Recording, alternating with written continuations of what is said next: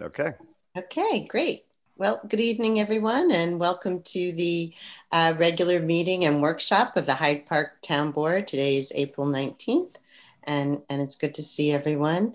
Um, uh, so uh, let's open the meeting with the Pledge of Allegiance. I pledge allegiance to the flag of the United of U.S.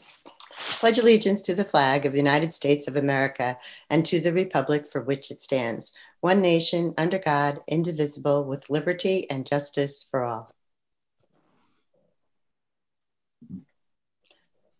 Okay, so um, uh, we have uh, the need for a motion to accept the minutes of the April 5th meeting, and I was absent, so I'll look for someone to make that motion. I'll make the motion. I'll second. And all in favor? Aye. Aye. Great. Okay, so uh, we do have the opportunity for public comment on the resolutions. Uh, and I wonder um, uh, if anyone has submitted any comments to you, Donna, the town clerk? No, I have no comments. And Neil, has anyone registered to speak tonight? Yep. Okay, great. Okay, so we do have a couple of workshops on our agenda. Um, and I know that Michael is not here yet. Michael's not here. So I think what we'll do, um, we'll, um, if it's okay with you all, um, just move that to the end of the agenda, giving uh, the planning board chair an opportunity to uh, to get to our meeting.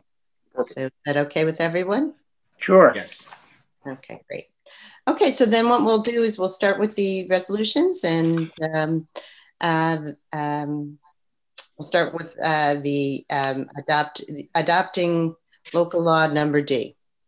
Resolution 419-1 of 2021. Resolution adopting local law number D of the year 2021 entitled Adoption of Amended Zoning District Map of the Town of Hyde Park in accordance with the requirements of Section 108-3.2 of the Town Code and Section 265-2 of the Town Law. Second. And um, Donna, could you please do a roll call on that? Councilman Krupnik, Aye. Councilman Ray, Aye. Councilman Woodcock, Aye. Councilman Schneider, Aye. and Supervisor Rohr. Aye.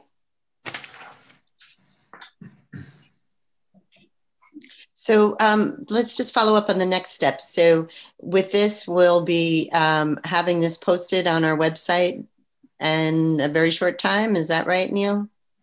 Uh, there's already the draft version is on the website Okay. and, and then this gets submitted uh, to the county and the county officially puts it on our E-code. Is that correct, Donna? Well, I'll send it into E-code. Right. Okay, Yeah, it'll be codified and put in. Great. Great. And you know, and we're glad that this is uh, is going to be there. It's one of the first things people do when they look to invest in Hyde Park and see what zoning code um, is, a property is located in, and that'll actually tie in uh, closely with our workshop updates. So we're glad to have this finally uh, uh, finalized.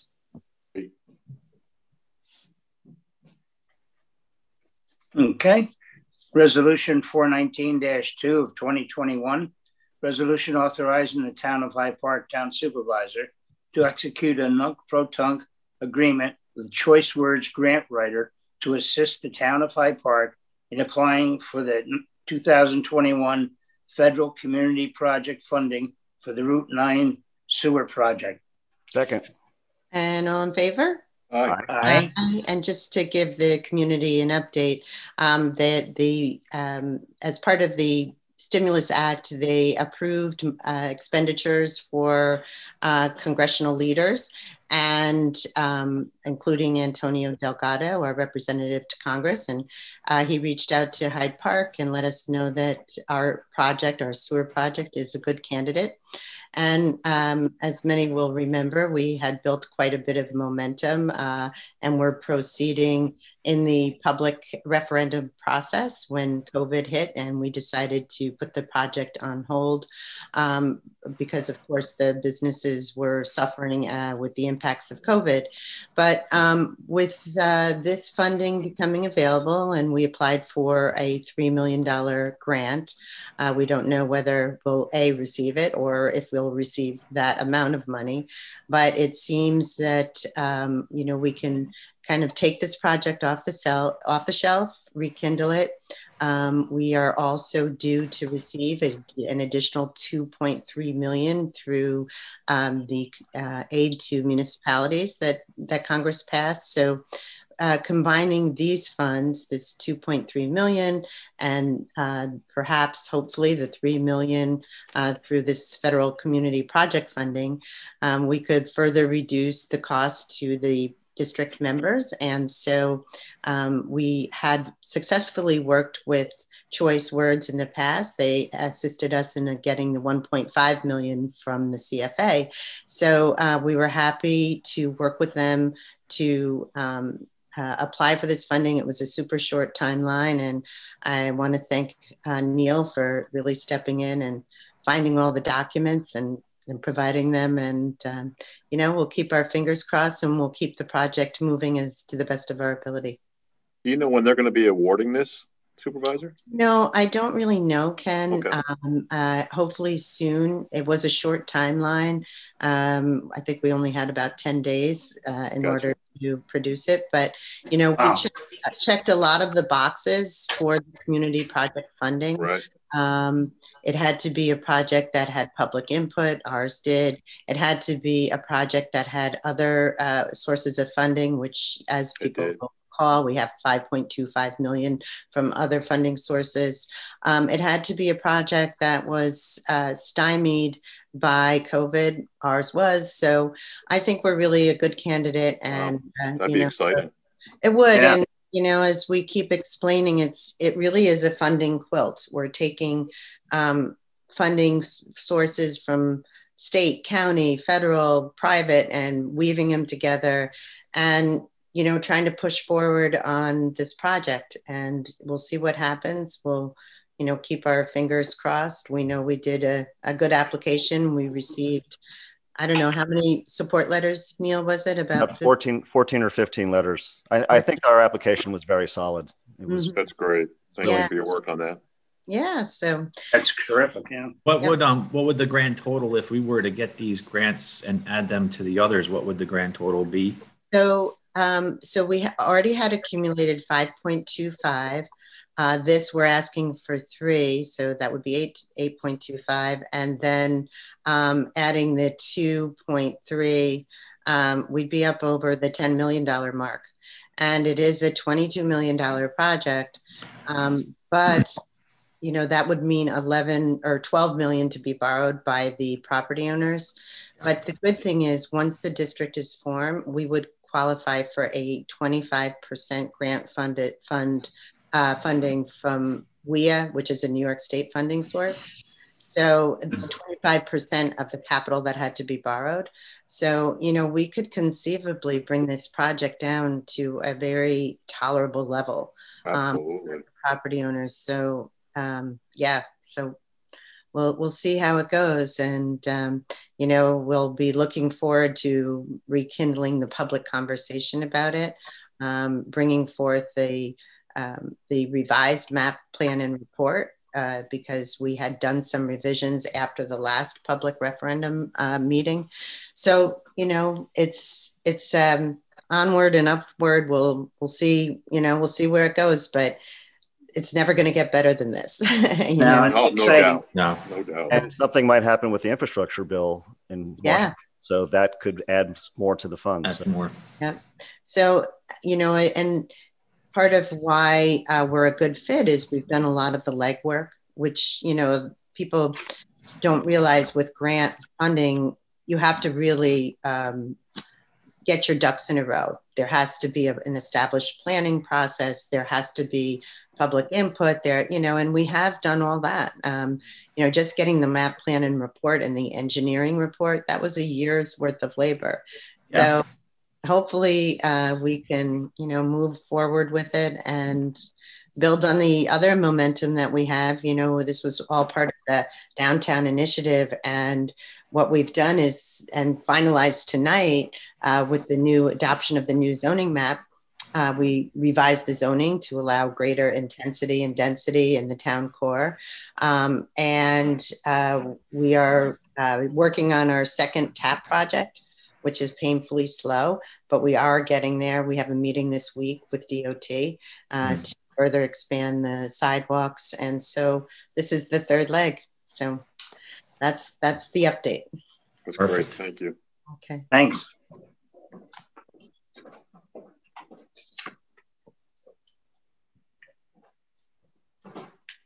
This is me, right? Yep.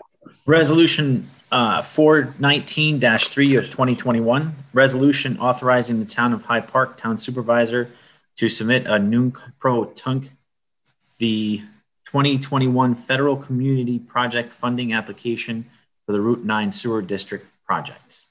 Second. And all in favor? Aye. Aye.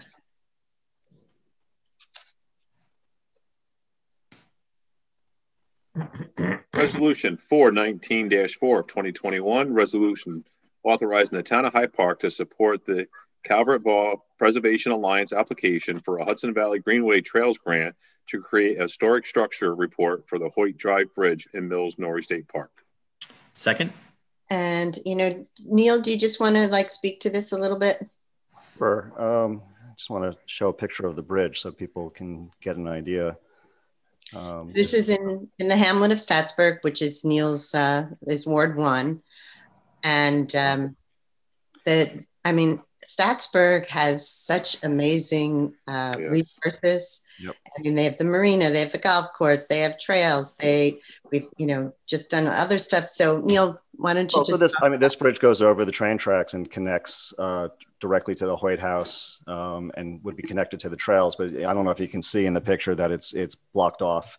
Um, it's definitely not safe, um, and it wouldn't be repaired for uh, for vehicles. Um, uh, very unlikely. I think it would be too costly, right, Aileen? I think Yeah. we're just Mhm. going for pedestrians, um, but it just would be so great for that park and for you know people to have more access to the river and uh, it's just that park is really incredible. Like the more you go through it there's just all these little hidden gems around there. So uh, i think this is just going to be great for the town and uh, there's a lot lot going on in Staatsburg. There is Yeah, and there is.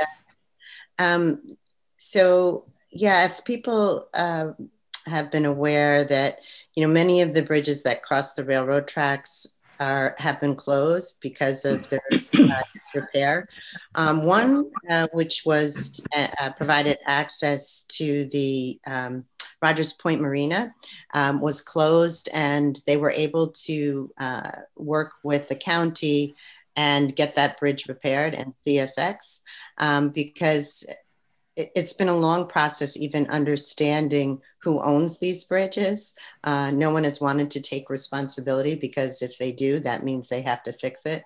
So, you know, Warren and, and I worked with various people from Amtrak and CSX to really um, advocate that for these bridges to be at least acknowledged who the owner is so that they can be repaired and provide and provide river access because in Hyde Park it really is one of the primary ways to get to the river is via these bridges. Um, and a lot of other places they have their access right at, at grade level but we don't. So it's really been uh, a pleasure to work with scenic hudson uh, to advocate for the repair of these bridges. So that is kind of how this grant application evolved and uh, working closely with um, uh, Jeff Anzevino from Scenic Hudson and connecting us the different organizations that would undertake this. So we're hopeful and, and glad that um, a that they have taken on the initiative. So it's not a grant that we will have to manage because that's very time consuming,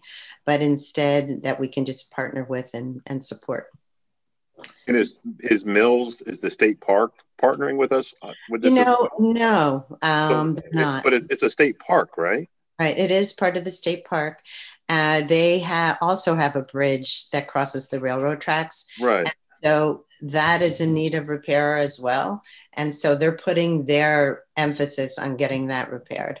Gotcha. But um, so it's this bridge. There's, um, as I said, they have repaired the one at Rogers Point, thankfully. Yeah. Um, There's also a bridge that crosses the rail tr- railroad tracks at the Dominican camp. Yeah. Um, Yep. Which could really offer another location for Hyde Parkers to access the river if they were able to get that repaired. Uh, there's a private bridge that crosses the tracks at the Locust, um, which they would like to see repaired. And uh, so There's also one on the back trail inside the Roosevelt Estate. yeah, yeah. Yeah. And That's a very so they they have kind of, Scenic Hudson is kind of packaging those together. Okay. And if you've followed it at all, there has been um, resistance to Amtrak's plans to install fencing along the tracks. And so we did advocate with Scenic Hudson to include our issue in that initiative. And, and they did. And it's great because at least we were able to get Rogers Point open. So, Yeah, that's great. Yes. Thank you. yeah. Yeah, it'd be nice to have that, that bridge open. It'd be Um, amazing. Yeah, the one on, because that's part of the Hyde Park Trail system. Right. I would love that. Yeah. Yeah. Didn't we join a group also up with, with Germantown and Rhinebeck and the Mhm. uh, group up there trying to keep the the, the Oh, we railroad supported it. We supported it, but you know, supported a resolution. I know. we had. yeah, Yeah. but you know, our access issues are different. I understand. Um, our access issues really, we have very few places where there is the possibility, and pretty Mhm. much all of them are accessed via I bridge. know. you know. Bridge. As a kid, I But we have it. we have amazing access at uh, at Norrie Point, right? And Good. fantastic. and at Vanderbilt, and uh, we don't have to pay for that. Nope. so that's one of the virtues of our national and state parks. They don't cost us anything to maintain them. So, okay. Moving on. Resolution 419-5 of 2021. We need to vote on that last one. Oh, so sorry, Donna. Good thing you're keeping us right. all this chatting tonight. Um, uh, do I have a second? Second. And all in favor? Aye. Aye. Thank you, Donna. Sorry. Yeah.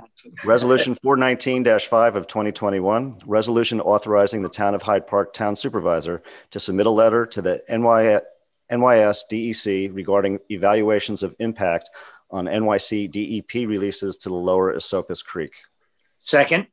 And all in favor? Aye. Aye. Neil, did you want to talk about that at all? Um, I, basically, there's been uh, discharges that have been creating um, turbidity in the water, and it, you know, it brings up all sorts of things that are from the surface, et cetera. And uh, this is v- very near uh, the intake uh, for uh, the town of Esopus, where they get their drinking water from.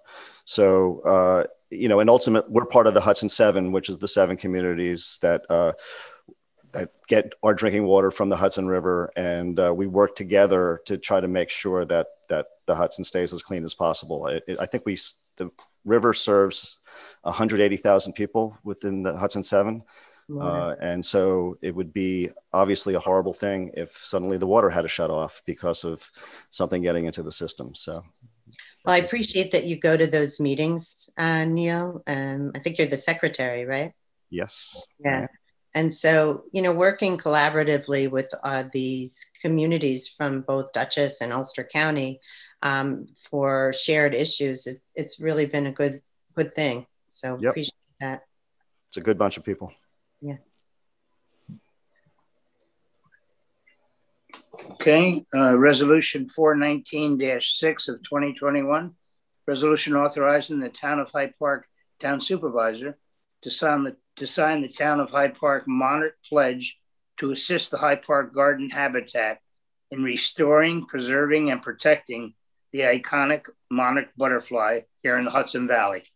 Second, And all in favor? Aye. Aye. Resolution 419-7 of 2021. Resolution authorizing the Town of Hyde Park Town Supervisor to execute community distributor generation subscription agreements for the Town of Hyde Park. Second. And all in favor?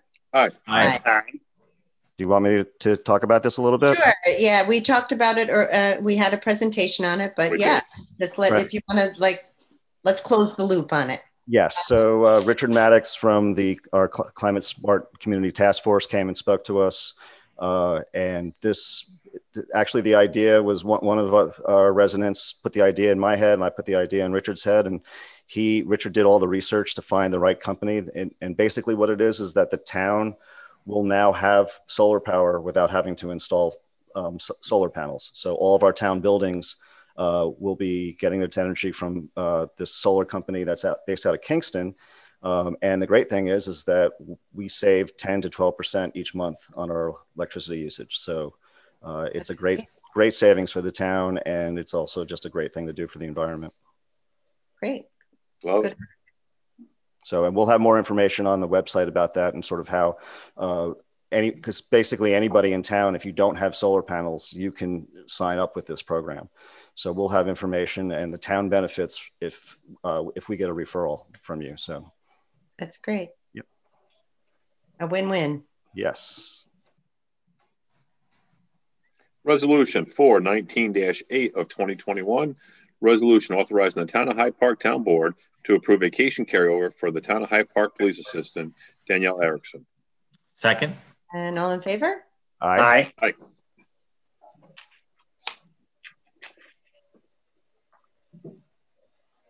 Resolution 419-9 of 2021, resolution authorizing the town of Hyde Park Town Supervisor to execute the Crisis Intervention Shared Services Agreement among the County of Dutchess, the town of Hyde Park, and other municipalities within Dutchess County.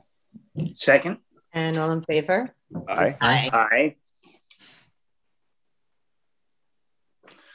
Okay, resolution four nineteen ten of twenty twenty-one. Resolution authorizing the town of Hyde Park Town Supervisor to execute an agreement with the county of Dutchess to provide police patrols in connection with driving while intoxicated laws for twenty twenty-one. Do I have a second? Second. And all in favor? Aye. Aye.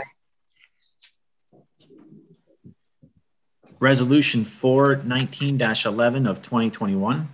Resolution authorizing the town of Hyde Park Town Supervisor to execute an agreement with the county of Dutchess to provide coordinated driving while intoxicated checkpoints in designated areas within the town of Hyde Park for 2021. Second. And all in favor? Aye. Aye. Aye. Resolution 419-12 of 2021, resolution authorizing the Town of Hyde Park Town Supervisor to execute a renewal of the intermunicipal agreement with the Hyde Park Central School District and the Town of Hyde Park for the presence of police officers at Hyde Park school events for the 2021 and 2022 school year. Second. And all in favor? Aye. Aye. Resolution 419-13 of 2020, resolution, resolution authorizing the Town of Hyde Park Town Board to appoint Evan Rothman to the Town of Hyde Park Recreation Commission. Second. And all in favor? Aye. Aye. Aye. Welcome, Evan. Look forward to your input. Thank you for volunteering. Absolutely. Yes. Okay, resolution four nineteen fourteen of twenty twenty-one. Resolution authorizing the town of Hyde Park Town Board to revise the wage rates for twenty twenty-one for the town of Hyde Park recreation, recreation seasonal employees.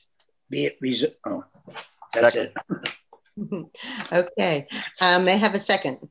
Second. Second. And all in favor? Aye. Aye. Aye. Resolution 419-15 of 2021. Resolution authorizing the Town of Hyde Park Town Board to amend the Town of Hyde Park recreation fee schedule for 2021. Second. And all in favor? Aye. Aye. So I'm glad to say we are having camp. Um, and that's what those last two resolutions are referring to. Great. Yep.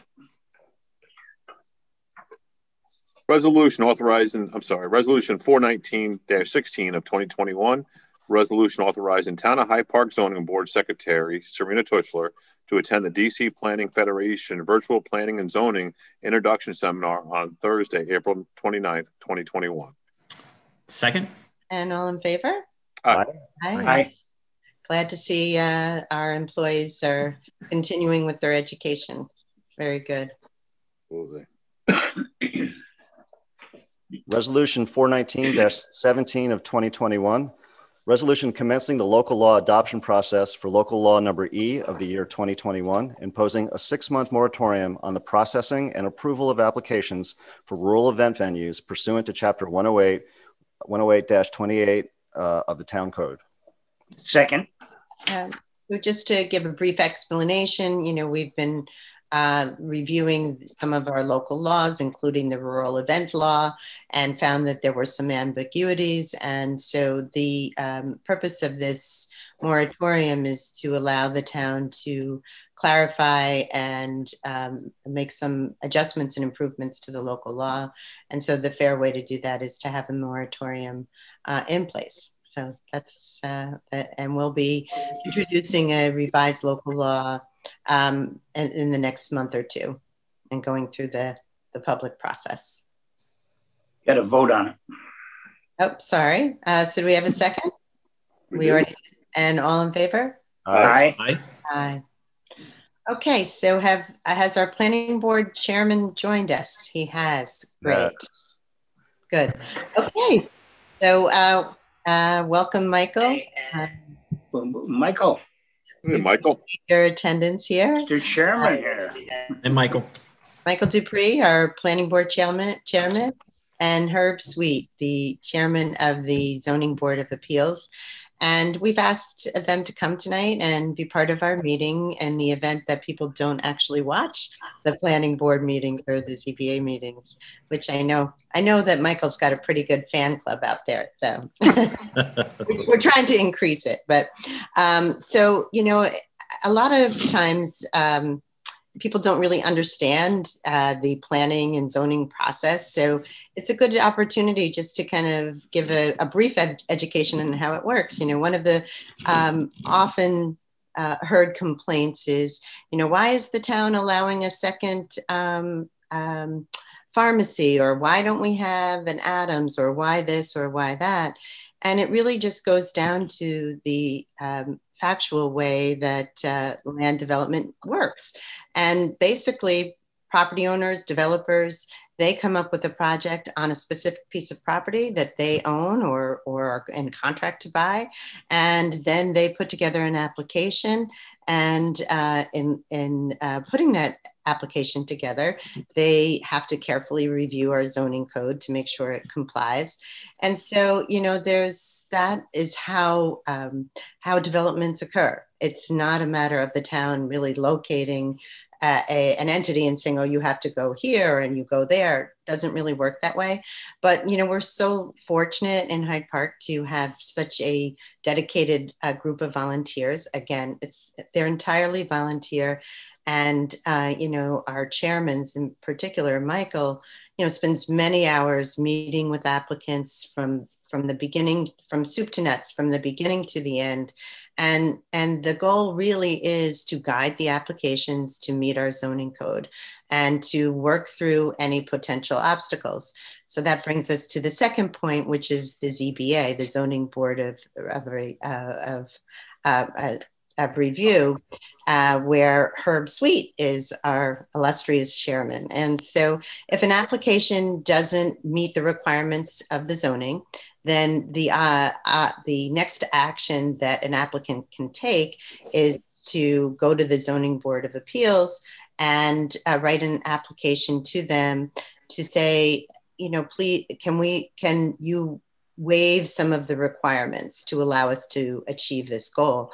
And, you know, a lot of those are very simple things like setbacks, you know, where you um, want to be able to build your deck a little outside of the minimum setback. Or there could be more complicated things like um, an interpretation on what the actual letter of the law means. Um, there's things like use variances, which are very difficult to get in terms of uh, the state requires that very strict um, qualifications be made um, before a, a use variance can be obtained. So, you know, again, it, this planning is a complicated um, involved process, but all guided by the written word that's on our website and on our books. So, with that little tutorial, I'll turn it over to uh, Michael Dupree, and we've asked him to give us an update on all the projects that we have going. Thank you. It's a pleasure to be here with you uh, all. And first, your humble servant here begs forgiveness. I actually was sort of wasting time thinking, when's it going to be seven o'clock and I can go on? I had not realized you changed your meeting time. I, I to wondered about six. that. Yeah, I kind of thought that might be the case. You changed yours too. We did ours over two years ago. So Yeah. I think this is great. I just didn't know. I so my Yeah, apologies. I, I figured that was the problem, Michael. Should have let you know. Fortunately, a colleague called me. Um, I also want to just say that in general, Hyde Park continues to be very, very fortunate that the development community continues to propose projects of all sizes here. Um, some people or some towns and cities during the pandemic saw a reduction of interest in moving forward. We did not. We've stayed busy throughout, as Councilman Krepnick can tell you, since he is our cameraman, so to speak, and also our liaison. Um, so it's been a real pleasure to continue to work this way productively. Um, so I'm going to first start with major projects because I think that's what most people are interested in. And actually, my first starter is something that maybe not everybody is interested in yet, but I wanted to talk about it. It's Camp Victory Lake. This is the very large parcel that's located on the north side of Crum Elbow, right at Quaker Lane. So my first year on the planning board, um, I was barely, I think I was just the vice chair. And this group came to us and talked about a master plan. That's been 16 years ago. This is the Northeastern Conference of the Seventh day Adventists, Adventists, which is congregants from five Northeastern states. They're pulling their resources to make this into an actual real camp. Oh, so wow. the first first thing you're seeing there is phase one. But let me just back up for a moment and say that there's a master plan that they're submitting under discussion. And the items that you can't see but um, are now included include high and low rope courses, an archery range, a BMX course, an outdoor amphitheater, and a wellness center. And the reason why I mention these is because the Northeastern Conference has been insistent since day one that they would like to invite, sort of invite and admit members of the community whenever they're having their sort of celebrations.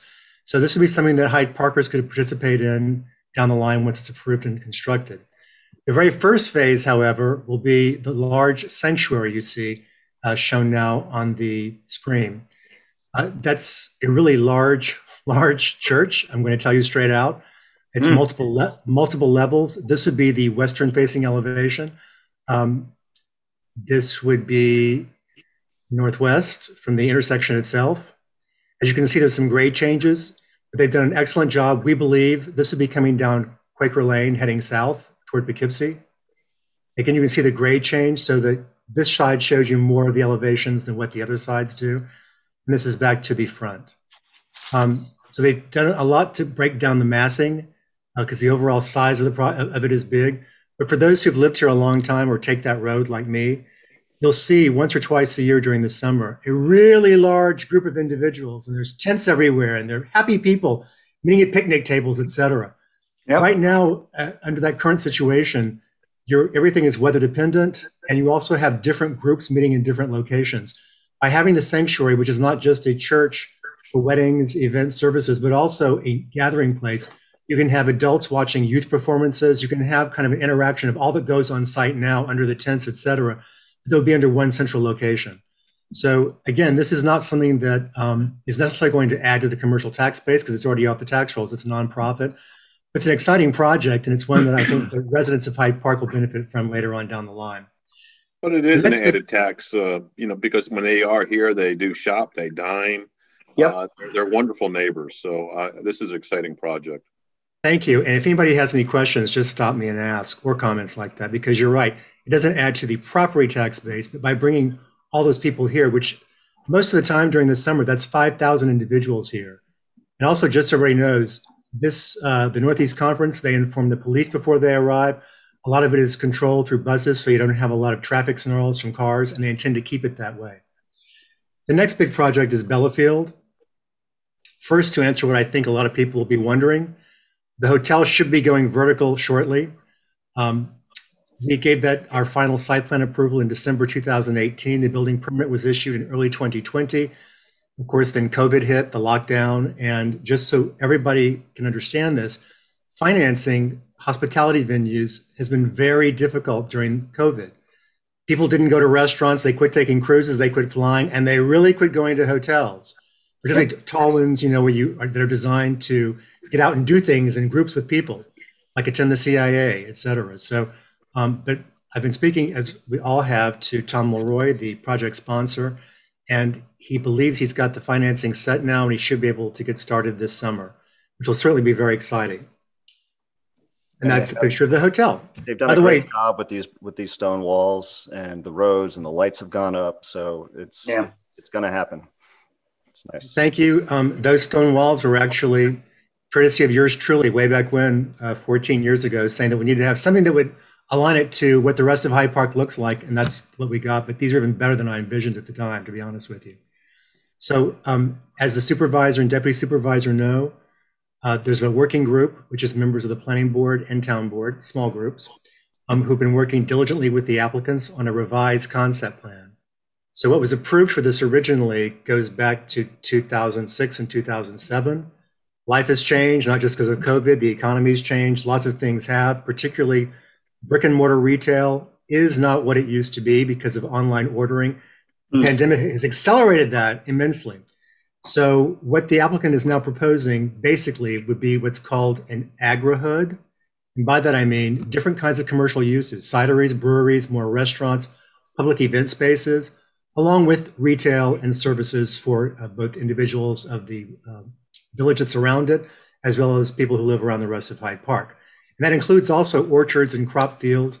Um, we've been working back and forth, this working group, and that includes Aileen and Neil, uh, along with uh, Ann Weiser from the planning board uh, with me um, and uh, myself. Uh, but we've been working with their uh, consultants to come up with something that we can, once we get a final revised concept through, we'll have a joint meeting with your board and our board, get this thing processed. Um, but that's, I think, really exciting to see that that's moving forward. At the same time, the planning board is reviewing, it's called an expansion of the wastewater treatment facility. And to sort of be short about this and brief, what was proposed for the hotel is a wastewater treatment facility that serves just that hotel. That's all the gallons of discharge per day that's permitted. The applicants are now coming through to revise what's called a SPDES permit. That's the DEC permit for wastewater discharge. They're going for full commercial build out. What this means is that once that's approved and they actually have their wastewater treatment facility expansion in, each time they come in with a new tenant, let's say it's the next orchard, I mean, the next cider, next brewery, the next restaurant, instead of having to revise that SPDES permit for each application, which would be cumbersome, it takes about six months to go through the DEC and Department of Health for that. All that would be obviated. They already have everything ready to go, so it'd just be a matter of hooking the system in and coming to the planning board for an- another small site plan review. So we're eager to get that move forward. Um, that's in process right now, and we think we'll be through that process in about uh, six weeks. The next large project is Hudson Valley Hospice House. This is a 14 room facility. That's, uh, has showed it up on the screen right now. I hope you'll all agree that that's a really beautiful building. We think it is. Um, this is not the final elevation. The two turrets you see at the ends have been uh, taken off, and there are now two smaller little shed uh, cupola almost things on top of the roof, but they'll still give the same amount of light that the uh, shed that the sort of I, I, turrets, I think what we're calling them, will- but to provide a lot of light. Um, this is a 15,000 square foot facility. We've had a lot of input from Wow. neighbors on Dorsey. Um, the Dorsey Lane concerns tended to be mostly privacy and noise, uh, which we've mitigated through landscaping features, um, as well as fencing, uh, plus uh, issues with uh, snow, stormwater drainage. And We're on Actually, Dorsey, we're on Dorsey, Michael. so this is just uh, south of the corner of Dorsey and, and 9G, East Dorsey. It's on 9G. Dorsey? Yeah, this is on 9G itself. on Sorry, 9G, but this, but Oh, it's on This- 9G. Yeah, as you're facing it to the right, and then behind it is both East Dorsey, because I didn't realize at what an angle East Dorsey went compared to 9G, but I did once I walked the site. Right. Um, stormwater has mostly been addressed. They're looking at drilling their wells right now. We're looking at possible or potential impacts to neighbors' wells.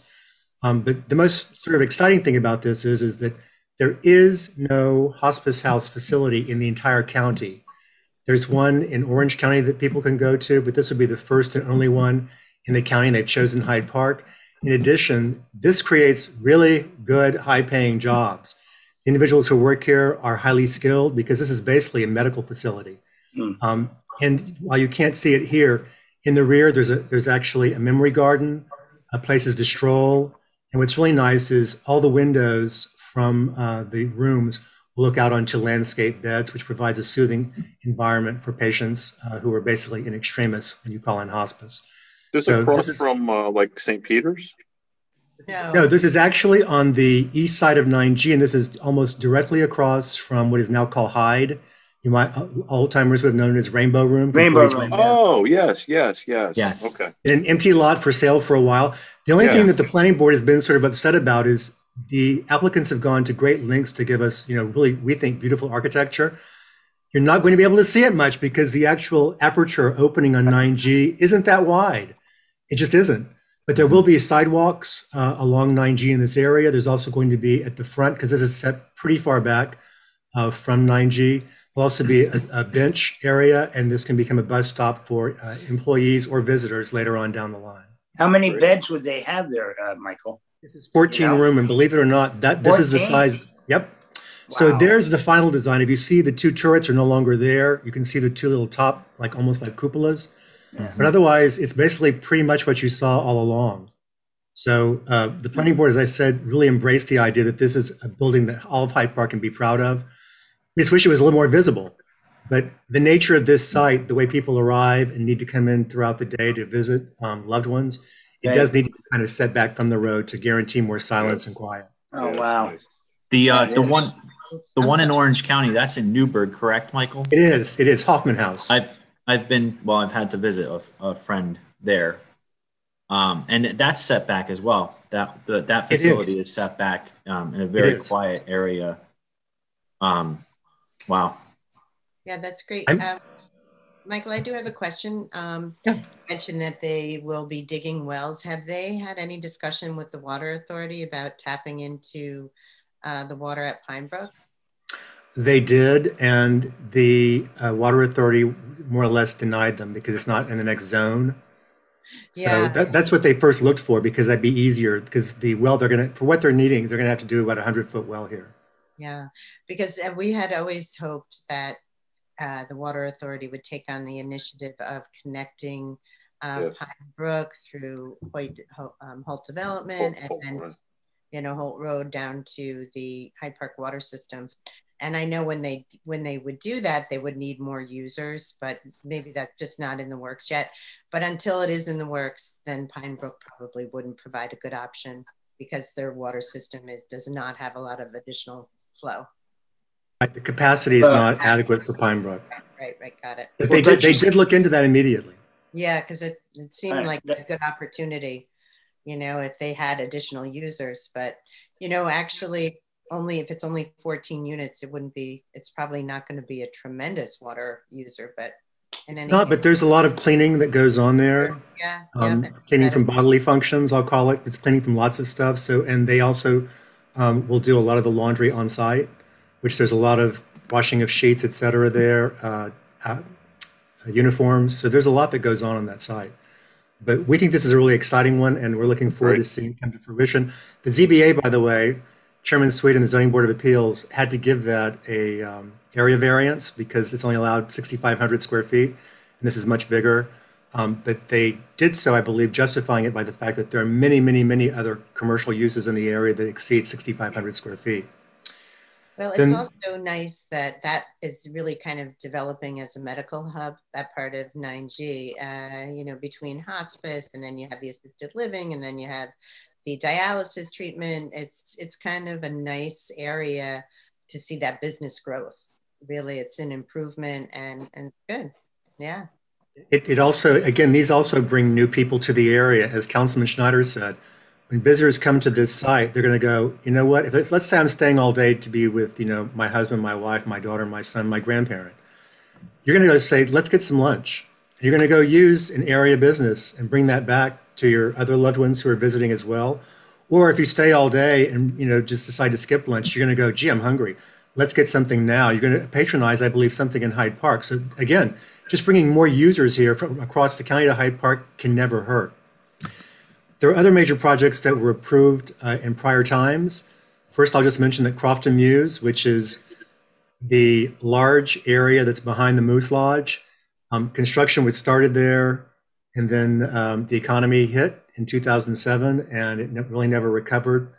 Uh, basically, that this proposal, it's all housing units. This proposal goes back to, if you can believe this, the year 2000. Even before that, it was discussed. Um, it's been modified several times. They're revising the site plan now for a reduction in 69 units. What was last approved was 319. It's now going to be 248. These are all going to be rentals. Um, but again, we're just in the beginning process of having them revise their plan. One of the things that always stopped this is there was required to be an open span bridge that would cross the Elbow Creek to get to 9G. That is very expensive. Open span bridges are not cheap. In addition, the soil in, in, the creek right there is a little bit unstable, so the pilings you have to drive down will be extra, extra, extra big, just like they did on um, uh, Crum Elbow when it was repaired around the around the uh, Cardinal Road area. Same sort of situation. Also, for people who've been driving around on North Cross Road, you will see that Jeffrey Groves has started land development. That's going to be 57 rental townhouses, very attractive ones, I have to add, with its own water and sewer system. And that's on the north side of North Cross Road. Dollar General, which is going to be one of the, I think, prettiest buildings, definitely the prettiest Dollar General I've ever seen. It's stick built and arts and craft design um, on the northeast corner of East Dorsey and 9G in that same area as Hospice House. Should be construct, begin construction soon as well. That's been held up by about a year because of County Public Works. There were some sightline issues as you exit because of the curve of Dorsey and some of the trees that were in through there. Um, but they've made all the corrections, and uh, we just passed that resolution to revise the amended plan one more time again uh, for as-built stuff. So it's going to be pretty easy now to, to sail through. Um, there's also two more solar farms that have started. As you guys would know, because you're the elected officials, we were the first town in the entire county to produce a solar farm array, solar array law, or solar farms as they're popularly called. Um, you see, you can see one that's already uh, under construction. That's located at the end of. Um, now I can't think of the name of the road, but it's what East Dorsey becomes uh, Duchess Hill, I believe, Estates and Cream Street. Cream It's Street. Cream, Cream Street in East Dorsey. It is East Dorsey. You can see that you can see that underway now. The other two sites that are getting started. One is on um, the east side of 9G across from Mike Athanas's farm. Um, and that will be largely hidden from public view. You won't really see that because it's set far back into the woods where there was already a farmed area. So it's already mostly a cleared area. The other is on Cream Street. If you're driving by, you might not notice it because it's set way back too. It's located. Uh, what you can see right now on the road is a horse and a small horse and small cow farm, I'll call it. Um, but then the uh, slope rises steeply up and the solar array will be put at the very top of that slope. You'll kind of have to do this if you want to see it as you're driving by. Um, but these are both exciting projects because they're contributing toward you know a reduction of traditional energy sources toward uh, better ones and greener ones. And I'm going to end the major projects portion of this on a really positive note. And some of you here already know it because you received the same uh, information. But Asahi Shuzo Sake Brewery has informed the town that they will start construction once again June 1st. Nice. Again, Really? that was that was occasion because it was very difficult to keep things going if you're in the hospitality business, which they are. Um, as I've pointed out several times publicly, this particular sake manufacturer doesn't really make most of its money off just selling through liquor stores. It's a higher end. They make their money off selling to restaurants, cruises, where they and and, and say it's something like uh, the Culinary Institute, which is going to be pairing sake with some of their uh, uh, food offerings. That's how they make their money, and that all died there for a while. So it's exciting to see that come back. They'll make some Then- money off this kid. It Um, won't make then- too much on me. And I did, I, I realized that um, we don't have the picture up here because I think that most people have seen it. But I was just talking the other day with someone who said, what kind of landscaping is there? And I said, oh, well, there's Gorgeous. outdoor dining areas because you'll be able to pick up your sake and actually sit down if you want to. They may be they may sell pre-done bento boxes of food as well later on, but also within that front area, there's extensive um, cherry blossoms because that's very sacred to Yeah, Japanese right. culture. Love that. They have both spring and fall blooming, which is more unusual. Cherry trees planned for in there. Really? So, yep, along with uh, some bamboo. So you're going once the landscaping starts, you'll see traditional Hyde Park around the perimeter. You know, good old Northeast stuff. But then as you get in, you're going to be entering into a different culture, a different land, which that's what it's designed for, is to appeal to tourists. Because remember, there is brewery you'll be able to tour as well as ta- I shouldn't hit brewery. You'll be able to taste and tour. Hmm. Then, as the supervisor mentioned, um, since I was appointed, um, we, the zoning administrator Tad Moss and I, along these days with at least, I mean, I hope always two, the planning board members, we have pre pre application meetings, I call them, where we first sit down and talk about what the ideas are that people are proposing. I don't always mention those if it's just after the first conversation because we never know if that's really going to come to fruition. But we do talk about them after the second and third because it seems like it's kind of gelling that way. So the first um, item I'll discuss, it's still under discussion, but about to enter the pipeline is a project called Farms to You. This would be an innovative market, like a farmer's market, but a retail market, all operating all throughout the year, featuring products from area farms that are all within a 100 mile radius. No. The company already exists. Um, I just got off the county planning board, but I served there for 10 years. And the primary function of the county planning board is to actually recommend purchase of uh, agricultural uh, development rights. And I know in talking to the farmers that we spoke with over there, and by the way, this, this doesn't mean that it stays a farm, it just means it can't be broken up and turned into subdivisions. Um, but a lot of their problem was trying to get their market or their, their wares, their products to New York City, to restaurants who would like to buy them. You know, Hudson Valley grown, Hudson Valley raised is a big selling point in New York City. So I heard back then about this woman who started a business where she would come to you, pick up all your goods, and then combine them with things from other farms and then bring them into the city. And when they said it was farms to you, I was like, oh, yeah, yeah, and kind of filed that away. And then when they started talking to Tad and I, it took me a moment before I was like, wait, wait, wait, wait, wait, this is that company. So what they're now doing is not just bringing it to end users, they're also selling it. This really helps farmers get their products out. Um, and these aren't just, say, produce. This would be duck bacon. This would be um, trout from one of the uh, trout farms that's located, I believe, outside Albany.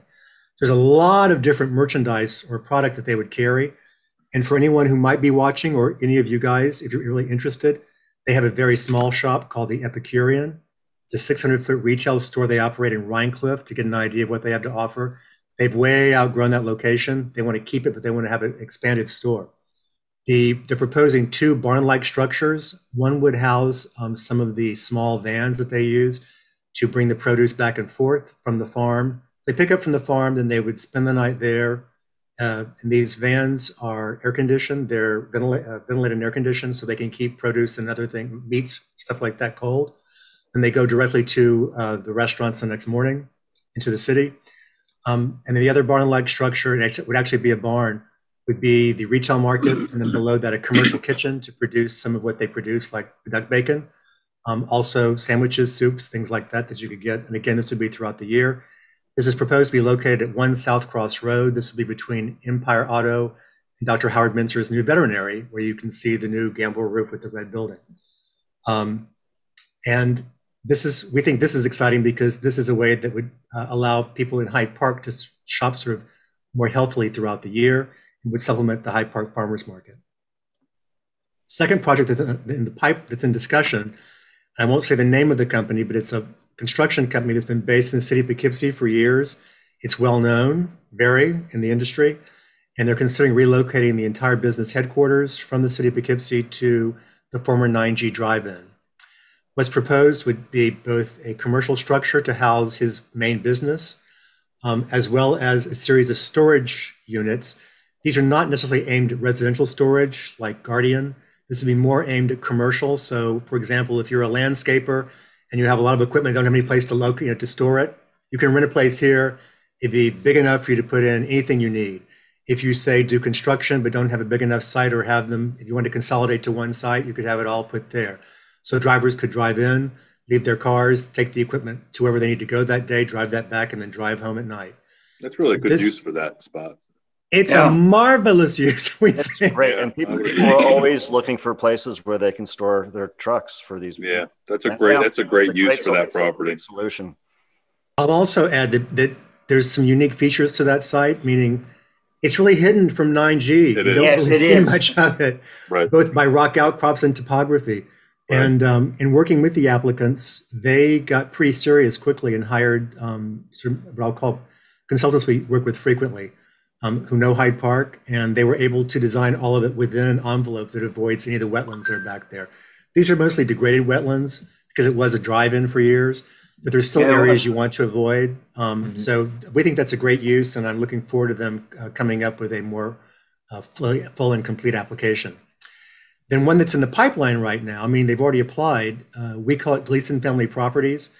But for longtime residents, this is also located on the Salt Point Turnpike, almost as soon as you get into town, just past Cream Street Yeah. on the right. And this is the former Rimp Feeds, as well as a barn. The barn had been used for retail at various points. You could buy boots, Yep. um, farming implements there. If you've been by the by the site, it's really the, the buildings are degraded. And we're very fortunate that the Gleasons, who are Hyde Park residents, want to rehabilitate them um, into something that looks historical, i.e., what they've always been, but uh, purposely reused.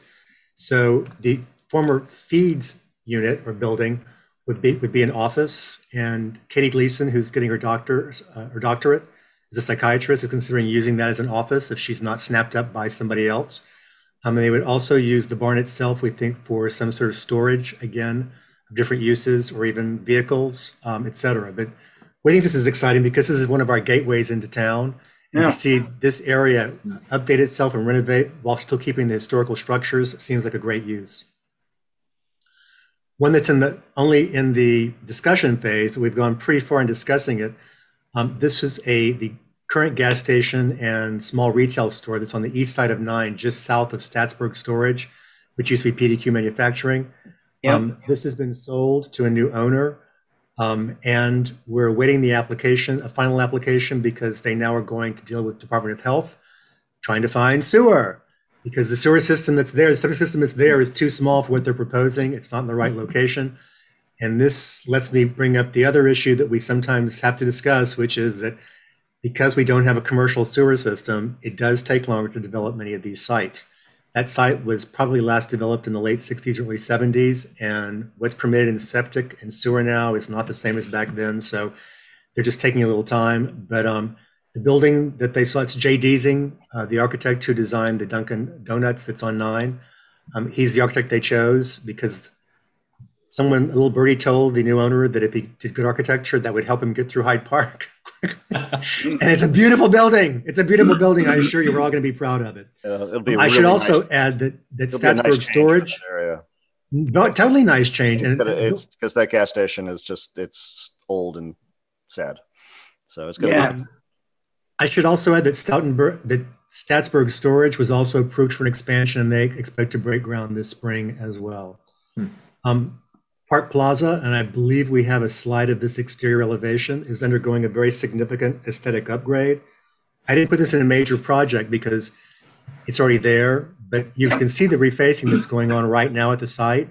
Yes. So it's an attractive dark color, as you notice. The, Yeah. the, the two turrets are in. Um, you kind of have to envision when you see this that what's below the top image is sort of that's just the columns and the roof line. That's the new windows you'll see below that. Um, and then you see that's the left or the north side of the site. You can also see the right side of the site. And if Neil goes down one more slide, I think you'll see the that's it. So what you'll be seeing now is where it says new tenant, that's where Mid Hudson Regional has been. Then below that, where you see the actual Mid Hudson Regional Early Education Center, they are relocating, expanding their business. That's will be um, what used to be Williams. Oh, You'll wow. notice they're adding different windows, et cetera. Um, it's the same entrance, but it's changing in many ways. Oh, There'll great. also be a parking, uh, a a playground area that would be just behind this. And they're also looking, there's a shed back there that was used by Williams. It's not winterized, but they're pursuing with Don Westermeyer, our building inspector, possibly using that for indoor recreation throughout the year as well, which would be a great use too for that building if they can get it winterized and up um, to from education standards for a playground. Terrific. And by the way, that's also that not only is since they've been redoing the exterior, it's also attracting more attention. I won't say exactly what kind of business it is, but we're in discussion with a small retail uh, business that they would propose a building that would be just left or north of the current entry and exit. So basically, it would be a bookend to Sue Serino's office, the Berg Stoutenburgh House, which Kelly Libolt, the applicant's consultant, represents uh, them always. And I've been discussing for 16 years how great it would be to have a small building in that location so you, A, would not see all that sea of asphalt. More importantly, get people moving around out there to activate the site because people are driving, if they see activity, you know, lots of activity, they go, hmm, maybe I should go there. What's going on? And you don't see that when it's set so far in the back. You just see you know, the, the empty parking areas and then the cars. So if that moves forward, which I expect it will, um, stay tuned. I think that'll be a great way, to, again, to activate the site. The new town core zoning that you guys passed um, has just allowed a former mixed use building to be converted to a two family unit. That may not seem like much, but in truth, bringing in more residents into the very central core, I need to always remind people that, that will help businesses located there. These new two family uh, uh, renters, uh, leasers, whatever, can walk to Emmy's Delights for sugar and allergen free sweets and savories. They can walk to medical services. They can walk to Antonella's um, just anecdotally, I've been seeing a couple that I know who live off Water Tower walk up and down Route 9. And the other day I kind of pulled in to say, Hey, I've been seeing you walk a lot. And they said, You know, we finally realized we didn't have to drive to Antonella's. We can walk. Mm. And when I said, What do you mean? They're like, It's a mindset. We were always like, Honey, let's get in the car and go drive to dinner. To think, Oh, wait, we can walk down there. He said, We suddenly thought if we lived in New York City, this would be nothing of a walk. And now it's so pleasant to walk back and get exercise as we're you know, full you know full stomachs, etc. But the reason they couldn't walk is there was no sidewalk. Right. No, that's why I said even though they were there, the they had to think, I can use these. I can use these. Well, it was just a, it was an unsafe road. So oh, that's, absolutely. That's why it really did work. Yeah, and that's why I said, and, you, yeah, and unsafe sidewalks too, Aileen. Yeah, and um, and the back to the Park Plaza, that is the area where we are doing our second TAP project, and it'll be really great if we can dovetail this new project with our pedestrian improvements. It, it's really what we're trying to create there. So um, the applicants did ask Pete Sotero for the current plans from DOT, and those were sent to them. So they are incorporating the design with what you guys are pursuing right now as well. Great. Then there are a variety of other projects, including some swanky big homes, um, other things I don't think would interest you or the audience because they're just normal parts of what we do. Um, but I do want to close on one sort of funny issue, and that is I keep hearing uh, from various people a conversation, somehow a rumor that Trader Joe's is coming into the old Grand Union slash Amish market. so let me put this to rest.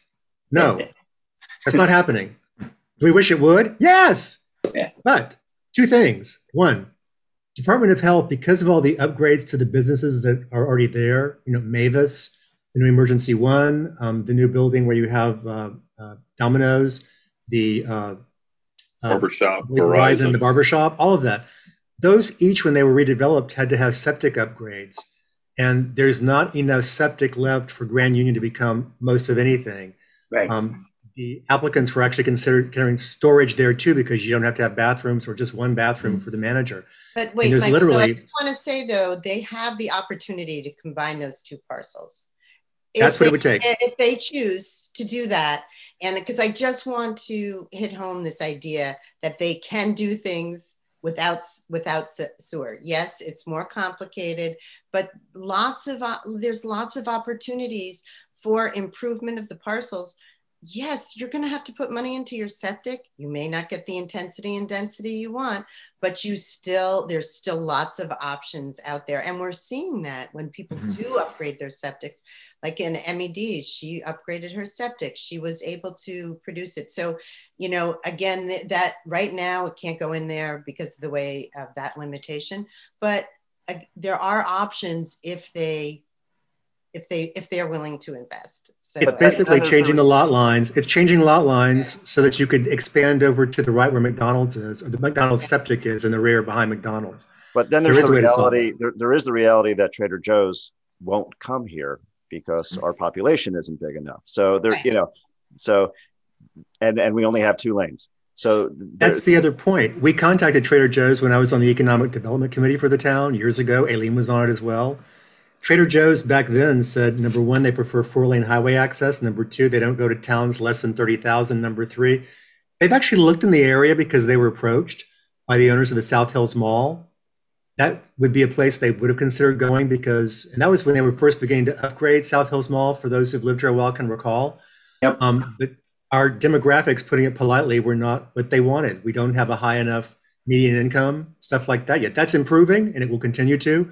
But for now, they, they, wouldn't have an interest in coming here. And they really like that four lane because of the number of deliveries they have to get all the time. So the South Hills Mall location would appeal to them because of its proximity to I 84. Um, and then the last thing that I keep hearing, not keep hearing, I keep being asked is, what's going on at the old Hyde Park motor site? And the answer is, is that we've had no discussions, no nothing. As the supervisor and probably most of you on the town board know, um, I believe that Brooke Stoutenburgh, the owner, thinks that it's easier to market without that decaying building there. And I am one of many residents who think, wow, that looks great to see nothing there right now. It's And such what's an going on? It looks amazing. Another It blight does, it does. I love it. And I, I also think it gives you a better idea what you could put there to see now it empty with all the site that's that's available. Yeah. So I've never as of seen right a now, nothing. that angle before, and I lived here my whole life. Yeah, All no, of a sudden, a chapel appeared. Oh, it's right here. FDR was baptized there. You know, yeah. incredible. Well, the owner is asking 2.3 million, so I know. that's, a, a limitation on, I uh, quite have on that. the re, redevelopment, but you know, if he can make it happen, uh, we'll we'll be very welcoming. You know, we they, we created new zoning there, the Crossroads Core zoning, to incentivize the property owner uh, to build a some sort of multifamily project. And you know, again, we don't, or excuse me, a, a mixed use project. I think would really be ideal, not just multifamily, but you know, commercial on the first floor, residential on the second and third floor, Yep. and you know, we've had discussions with the property owner over the last several years. There is really kind of nice potential there for uh, him to develop again, invest in a uh, advanced, uh, improved septic system that could house some really nice commercial um, or, or mixed use development. But again, it's investment. I, you know, I think a 2.3 million dollar price tag can be a real deterrent. Um, so, uh, but what an improvement just seeing those buildings down. I mean, congratulations, Supervisor. I mean, I know how much time and Yeah. energy, and I'm surprised you have hair on your head because you were you're pulling it out, man. I mean, and I mean that is a victory for you and our town to have that blight gone. Yeah. And uh, you know, if he wants 2.3 million for it, I'd much rather see him ask 2.3 million and have a beautiful piece of property than 2.3 million and still have that eyesore there. So. Right. For you know, for when anybody asks me, I just think that's such a victory for us in the town uh, It is. because it's that blight is gone. So congratulations. on Yep. Yeah. Thanks. I mean, it was a lot of conversation back and forth, a lot of exploration. Um, and I think we did kind of get him off center uh, in Yeah. terms of uh, removing the dilapidated building. So we'll see what the next step is. Like, I I think what we've all learned from Michael's presentation is how much activity and interest there is in the town of Hyde Park and how welcoming we are and how uh, we will work like dogs to make things happen. And so we'll we'll see. Let's hope. I, I should, and I want to close by saying to say, again, thank you to the supervisor and the administration because I've had the ability to, when we have certain projects, to just say, I'd like to have the supervisor on this too, which means a lot to applicants, to, to the development community, because you have the elected officials coming in, particularly the big chief, you know, the supervisor, saying, well, we welcome you. We're, we're eager to see this happen. How can we help? You know, et cetera. It, it casts everything in a different light. And that's an important thing for Hyde Park. Mhm. Uh, so I appreciate the cooperative attitude you, you and Neil, the deputy supervisor, have because I know I call you in a lot, and I apologize for that sometimes, but I think it helps. To me, it's one reason we do this. You know, it's that this is it has so many ramifications uh, for our residents to have an active, attractive downtown. It impacts our property values. It in, in, improves our tax base, which then reduces the tax impact to residents. So there's so many good reasons to support positive development. And, um, you know, I've spent my whole life here and I can see, you know, with satisfaction that we are making changes, we're making improvements and, and that feels good and and appreciate definitely all the volunteer hours spent by you, Michael, and and your entire plan. And my colleagues, I, I, have to give them a shout out again because when you go, if you're uh, in a court case, and um, Trina Plansky will know this, a lot of times judges don't bother to read through the whole briefs. The ones that, that do, the judges that do read through everything that you're submitting as an attorney, they call that a hot bench because they're nervous because they've read everything and I tell people, um, applicants, um, you're going to have a hot bench with this planning board because, and that's the truth, they do. All my colleagues read everything, contribute intelligent, smart, resourceful comments, and basically make projects better. So it's it really is a collaborative effort. I, can attest to that. I'm I'm at every meeting, and uh, this that, that your planning board is pretty amazing, and they always make a project better, and that's something to be really proud of. Well, we certainly appreciate everything. Thank you, Michael. Yes. Thank you, guys. Yes, Thank thanks a lot, Michael. I'm, I'm going to hop off for Okay. super uh, for Chairman Sweet. Thank you. Thank All right, you. take Michael. Thank Michael. you. So now we're going to welcome um, Herb Sweet, our chairman of the Zoning Board of Appeals. And thank you, Herb, for uh, You're being with us, Herb. for your patience while we uh, had a long conversation about the ongoing projects. And, you know, Herb has been a volunteer for the town for how many years would you say, Herb? Since 1992, All right. you That's count them some up. history. I don't know if some of our board members were, you know, they were probably just being born back then. Not quite. Not quite. That would be David. yeah. Well, you know, along those lines, and Michael was talking about Crofton or Carriage Trail as it's called now.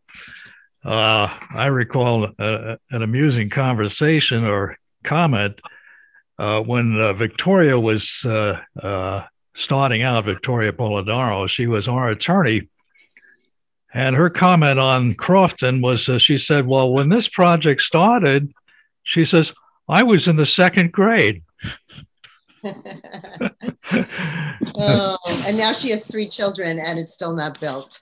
yes, yes. Some of these projects have a life of their own, and uh, Oh, Superbug, that's funny. that's It- all. It is funny, but you know, and I, and I- and just to speak to that point, you know, Bellefield has had their building permit for a couple years, and you know, people want to understand that uh, frequently, what stops a project has absolutely nothing to do with the town, but more with financing or that the conditions have changed, and. Uh, so um, maybe at some point the stars will properly align and Crofton Muse may get built out. So Herb, again, you know, we appreciate all you do and your board and, you know, you're really, it's more of a judicial review board um, in terms of your function. Would you agree? Well, I guess I guess you could say that, and uh, it's a it's a challenge, and that's why I've taken it on. Uh, besides wanting to make a contribution to the town, uh, and zoning certainly provides that. Now, Michael gave us a really nice uh, update. It's very interesting myself to hear it all. Uh, what we do is we do we kind of supplement that, uh, but mostly what we do is uh, of interest to folks in their own neighborhood. Uh, I'm going to give you some hypotheticals and some actuals just to kick it off. Uh, Aileen did a good job of uh, summing it up. I'm going to get into a little bit more detail. Uh, suppose your next door neighbor had a really great opportunity and he could sell his house to some guy for a million dollars and they were going to tear the house down and put in a, a trombone testing factory. Could they do that? Uh, okay, I'm joking. I got that from a Laurel and Hardy movie. But uh, I'm sure Yeah. Stephen right now is They going, look a little like, yeah. The trombone factory. All right. Trombone testing, yes. Thought a Ferris wheel would be good. Yes. Well, closer to reality, maybe your next door neighbor has a couple of dogs and he figures, you know what I can do? I can make a few extra bucks. People go on vacation. I can, I can take in dogs and I can make a few, few dollars. Uh, uh, you know, doggies are not going to be too happy being away from home. They're going to bark a lot. Can he do that? Uh, maybe he wants to put a three car barrage in right up to the property line. Can he do that? Uh, now I'll give you a real applic- a real case. Uh, we had an applicant come in and they wanted to raise pigs on their Yeah. half pigs on their half acre piece of property, and the neighbors all had half acre pieces of property. Uh, and they'd actually started doing it. And I can tell you who the neighbors were at the public hearing, which I'll talk about more later, because they were the ones that had little marks on their noses where the clothespins had been. uh, spoiler alert: they they didn't get the uh, the variance. You need a long, long setback for raising smelly pigs and other animals. So let, let me give you just a little bit of history to kind of put this into context. Uh, you go back to the middle of the 19th century, and about 85% of the population was living on a farm. Yep. Uh, do whatever you like. Your nearest neighbor's a mile away, nobody cares. By 1920, it was about 50 50 between urban and rural. And today, it's about 80% urban and 20% rural. It's just the opposite of what it was in the middle of the 19th century. Uh, how you measure urban and rural, that's, that's changed a bit, but you get the general idea. We're not, we're not farmers anymore. It's a different country. Well, by 1920, it had become clear that some structure was needed for land use, and that was the beginning of zoning, which could have been called districting because it's a setting up of different districts for incompatible uses. So they put the factories in one place and the uh, houses in another place and the shops in another place and, and the farms in another place. That's the basic idea. Uh, although today we're talking about village and city centers where people like to see uh, residential and shops mixed in the walking community and all that. That's that's a new twist and an old idea. And adding to this, uh, were added regulations to assure the, the health, safety, and welfare of the citizenry. Now, in New York, uh, that responsibility was given mostly to the localities, with states retaining some authority. the logic was the localities understood the local situation better than the folks of the state capital did. Uh, now, before I continue, I'm just going to very briefly compare land use law and criminal law. And I see Warren isn't here, so he's not going to get too queasy about Warren me getting into this. What's that? Yeah, go ahead, Herb. Yep. Okay, I'm not going to get too deep into it anyway. I, I think we got to keep it a, uh, you know, 3,000 foot level overview. Yeah, I, well, of course, well, count on me. I can do that.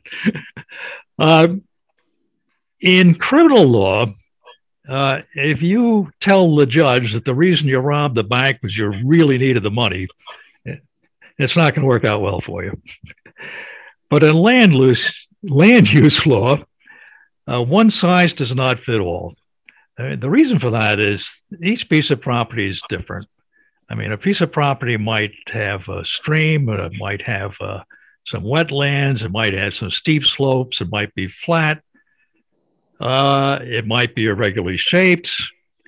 Uh, maybe the house was built 100 years ago, long before zoning, which, by the way, started here in 1961. So you've got to have a way of dealing with this. And when the state began permitting localities to establish zoning, the state also required that zoning board of appeals be set up. And if we weren't here, uh, you folks in the town board would be pestered to death by the citizenry every time they couldn't make a zoning requirements to change the zoning law. And as soon as you changed it, somebody else would want you to change it back. And uh, you, you wouldn't have time to do all the fine things you're doing. So, with that background, let me give you some real examples of uh, what's uh, how this all works out. Let's suppose you got a, a two bedroom house, uh, baby's on the way, you need another bedroom. So, what you do is you plan a new bedroom and you go into the town and you visit with our zoning officer, Tad Moss, explain what you want to do. And she looks at your plans and says, Oh, that's very nice, uh, but uh, you're going to be too close to the sideline. You've got to be 20 feet from the sideline with your house. And you're going to be 15. So I can't send you down to the planning or building department to get a, a building permit. Uh, if you want to do that, you're going to have to go to the Zoning Board of Appeals. You'll have to appeal her decision to the Zoning Board of Appeals. You get it? okay. So what we do is we publish in the classified a, uh, that there's going to be a public hearing. Uh, we send out special invitations to the immediate neighbors. And then you come visit us and say, oh, I want to put in my bedroom. Okay, well, remember the state? Uh, so the state's in the background, but they they have a lot to say about things, and they tell us that there's certain guidelines that you have to follow in making the decision. It's it's not up to you, sweet, whether you like it or not. And one of the things that uh, we have to consider is, uh, well, is it possible that you could put your bedroom in uh, without needing as much of a variance, or maybe none at all? So we were likely to suggest, well, well, could you put the bedroom in instead of on the east side of the house? How about in the back of the house? And you might say, well, no, no, I can't do that. There's a leach field back there. So, oh, okay. Well, well, how about on the west side of the house? I said, well, I, I can't do that. It's, the ground slopes away and uh, you just can't build anything. So, okay. Well, now we want to hear from the public, uh, and especially the neighbors. And it's not because we want to take a vote or something like that. Uh, it's not. That's not it at all. We're looking for intelligence. We're looking for what do the folks that live there and the public in general know that we don't know. Just like uh, Albany said, you know, those folks in Hyde Park, they're they're they're going to know more about what they need to do than we will. That's the same idea. So we collect all that information, and we make our decision. Uh, in addition to what I just mentioned, another criteria is that uh, we have to consider is is there going to be a change to the character of the neighborhood? Uh, is there going to be a, a, impact to the environment? Uh, is the change you want substantial? These are all state criteria that we have to consider.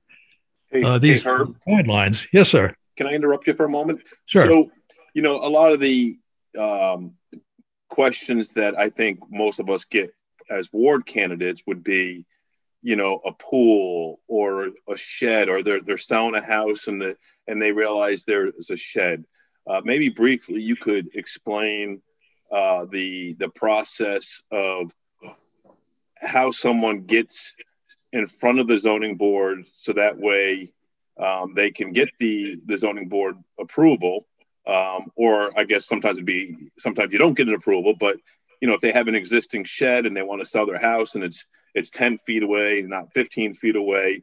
You know, I think that's kind of what, you know, Steven sees or I see or, or Neil. Um, so I, I, think that's kind of some of the basic stuff that at least uh, we try to field here. Happens all the time. Uh, people don't know, and we have applicants come before the zoning board that I didn't know that I had to get this approved. And then we start the same pro- start the process just as if it's a new application. Uh, I recall an individual came in and uh, he inherited the house from his father, and 50 years ago, his father had put a swimming pool in, and it was too close to the sideline, and he wanted to sell the house, and so we needed a variance. And he said, "No, he's only 14 years old at the time." And I said, And and you didn't tell your father he couldn't do that? So what is the No, process? these, these things happen. It's the same process. Uh, the the app the person who has this as built situation uh, applies for a variance to the zoning board of appeals. I think a Ken is asking though, how do they do that? So I, I, what Herb said earlier, Ken, is they make an appointment to speak with Tad Moss as their first step. However, um, just for clarity though, sometimes what happens is people just go directly to the building inspector and, uh, uh, and, um, a, apply for a building permit. And um, the way that works is they apply for the building permit. The um, building inspector makes sure the application is complete. And then all applications are referred to the zoning administrator for her review to make sure that the, um, the, the proposed project complies with the zoning code. So that's where TAD takes a look at not just the use, uh, if it's a commercial pro- project, but for residential, it's she's taking a look at the setbacks, and um, that is probably one of the most common types of variances that people need. Would you say, Herb?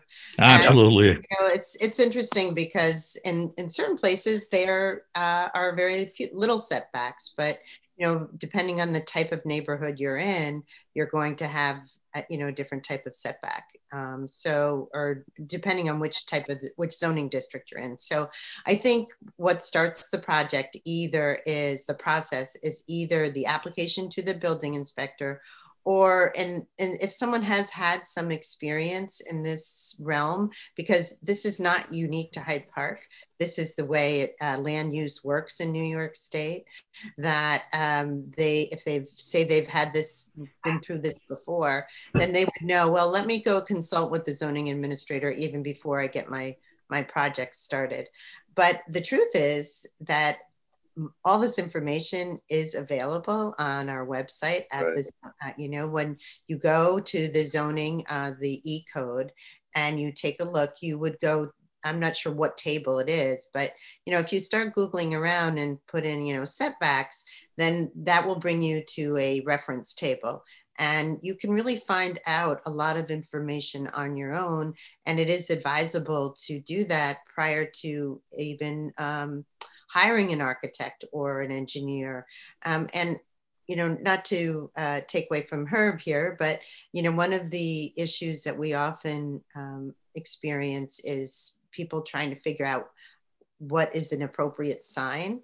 And, you know, that again, that's super clear in our in our zoning code.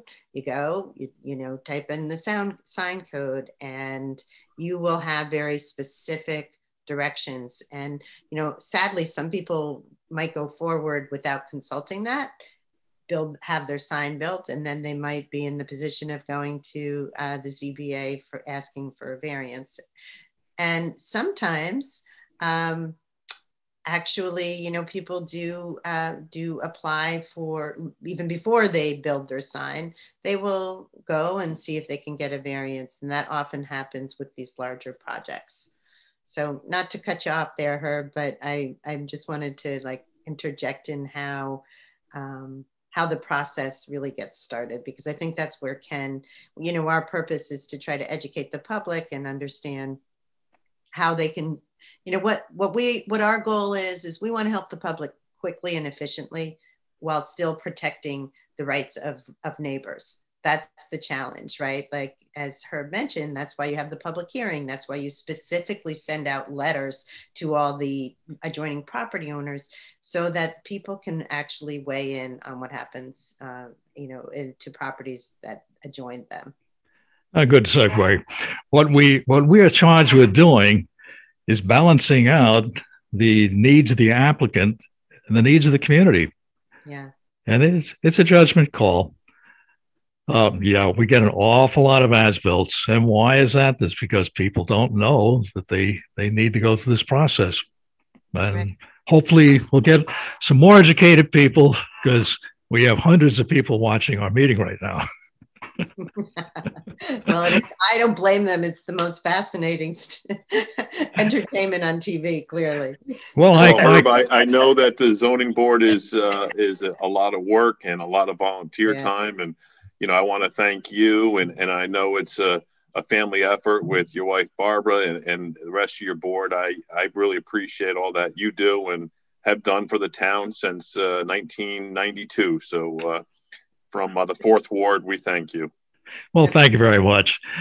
Well, actually, we we uh, we do kind of enjoy ourselves.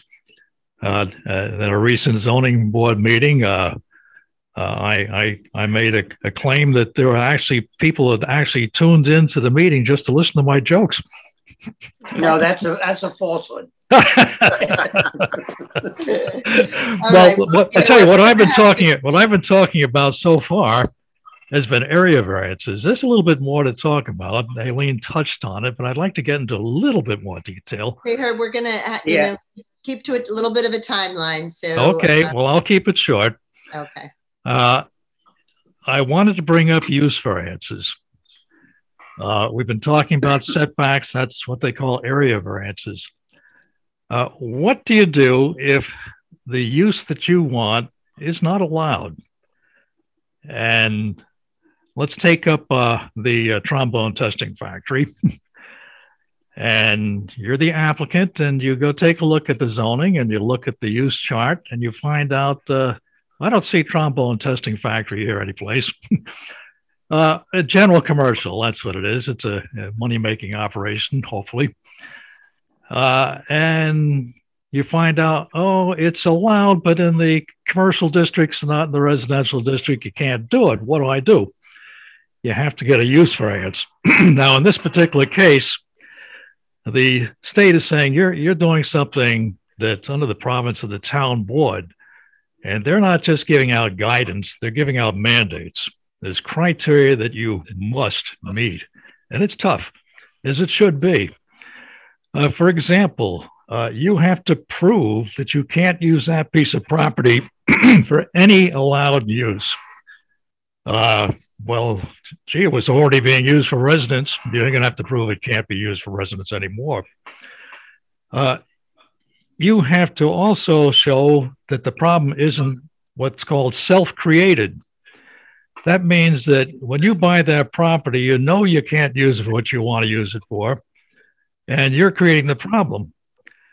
Now, you're, you, you can say, Oh, I didn't know. Well, ignorance is no excuse. Ignorance of the law is no excuse. We all know that. So, uh, rest assured, the, the folks, you're not going to have any trombone testing factories next door. And I can say the same thing for the earlier illustration of the dog kennel. They have to be out the green belt. Uh, you need 10 acres. You need a special use permit. So that's that's uh, that's how that works out. And there's one other thing that we do that I want to touch on briefly. That's what happens whenever people look at the zoning and they say, "Well, that's confusing. Uh, that, I don't know what that means, uh, or it's contradictory." It's ambiguous. What do we do? You have to go to the zoning board who interprets the zoning. Uh, I'm going to give you one of my favorite illustrations, and I'm almost through, so don't uh, don't get too worried. and years ago, I was in a, a zoning review committee, and I was looking at some of the zoning, and one of the old adages about this business is it's very easy to know what you want, but very hard to put it into words. So I said, folks, uh, look at what it says here about signs. Uh, let me read this to you. It says, signs shall contain graphic content suitable for the intended audience. Does anybody see any problem with that? Well, nobody did. And I said, uh, listen to that more carefully contains graphic content. So, are, are, we trying to support the porn industry? Well, half half the folks there thought I had a point, and the other half thought I was out in left field somewhere. And that's exactly the circumstance that leads to interpretation. When we can't agree that we understand what's written, what it means, that's what you need an interpretation. Well, we straightened that one out before it got to that point. So that's that's basically all we do. Uh, uh, Aileen mentioned uh, being able to look at the zoning. Let me tell you how you can do that. Uh, get on your computer and go to generalcode.com, uh, go to the code library, uh, and then go to New York, and then go to Hyde Park. And the zoning is chapter 108. There's a link also from the town website. And you can you can take a look and see what all the uses are and what the setbacks are. And you can look at the rest of the town code too. There's sections in there about uh, property maintenance, uh, uh, noise. There's there's a lot to it. You can look at the town zoning map. You can see what district you're in. There's a lot there. And if you get enthusiastic enough about it, someday you might find yourself in the zoning board. And I'm through. Thanks, Herb. Thank you, Herb. Always good to see you. Appreciate Thank all you, your Herb. Work. And- Thank you, okay, Herb. folks. Okay. Alrighty, All take- right. Bye bye. Take okay. care. Okay, so we do have just a couple of other uh, quick updates. I know uh, that we had a fantastic Saturday, um, uh, the Hyde Park Appreciation Day. Neil, do you want to kind of go into that a little bit? Sure. Do I have the right thing up? Yep. Excellent. Uh, I, the day was unbelievable. We had 95 volunteers on Wow. Saturday. On Sunday, we had an extra group. We had the United Methodist Church uh, youth group come and do uh, the town hall area. Um, we had, as you can see here, Route 9, uh, the leaves were all cleaned up, uh, the garbage was cleaned up. Um, we had a Boy Scout troop uh, number 37. I hope I got that right. Uh, they- That's that's it. Thirty-seven. Yeah. Yep. Uh, they they came out in force, um, got some snacks and MEDs, and uh, it was just a terrific. Here's the the uh, the youth group from the United Methodist Church. Look how nice our town hall. Oh, Hard so looks. nice. Um, they did a really really nice job, um, and so many people were involved. The, the event was sponsored by uh, the town, uh, Friends of Hyde Park, the Rotary Club, um, the uh, Chamber of Commerce and the of I almost left out the most important one, the Visual Environment Committee, uh, and uh, Kathy Lane from the Visual Environment Committee really um, took charge of this and ma- just made sure this event was was safe. Uh, she got all the reflective vests for all the workers who were on Route 9 and 9G and some of the other roads. Um, the Teachers, Hyde Park Teachers Association uh, cleaned up St. Andrews Road. Um, uh, just an amazing amount of, of effort from people. Uh, I have Richard Maddox and Pat Lamana as partner. They planted three new dogwood trees across from the Stop and Shop. Um, I thought I had there. There they are. Um, so I guess the the previous trees did not do well, and so Yeah, hopefully, uh, the the fir trees they just don't. It's not the right location. I don't think it's sunny enough, and I don't Yeah. think the soil's acidy enough. So, so let's let's hope these stick. And, and dogwoods love acid, so I think yeah. Yep. Yep. So it's just, it's just, it it was a fantastic day and it's just a great um, turnout. And it just shows what, uh, what a town can do when they all come together. And I don't know if people have been outside, but the town looks great. So let's, Terrific. let's keep it that way, folks. definitely. And Yeah, it looks great. we're just so fortunate to have fantastic volunteer partners, and really collaboration did it.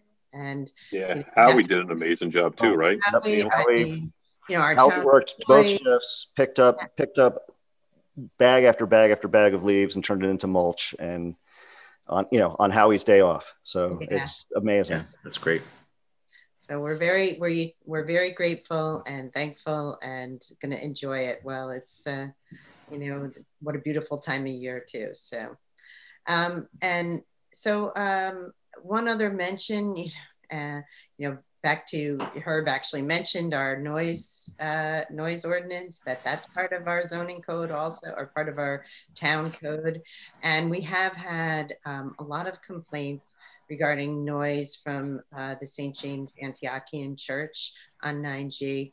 It's super persistent uh, complaints because it's uh, used as a um, venue, a uh, event venue, and our police are there pretty much uh, weekly. Uh, we've had it brought to our attention in the past. We've been uh, trying to find solutions, uh, reaching out directly to the property owner, uh, asking him to institute changes that would limit the, the amount of noise that those people who rent the space could produce. We're also taking a look at our local ordinance. Um, you know, there's limitations on, you know, we can, the police can enforce laws, but if, if they're not on the books. So, you know, we're, we're, we're aware of it. We're taking uh, a look at what we can do to address it. We're really hoping for the cooperation of the, um, of the church that uh, it's not their events, but it's more the rental events. So, you know, I think a lot could be solved in in terms of if that is their their uh, direction, if they provide that direction to anyone who rents the space. But you I did want to know to let people know that we are aware of it, we're on it, we're working with our police, and taking a look at our local laws to see if we can improve them. Who would ever thought a church wouldn't be a good neighbor? yeah, but you know, they rent the space out and um, it's for, you know, communions, birthday parties, I don't know.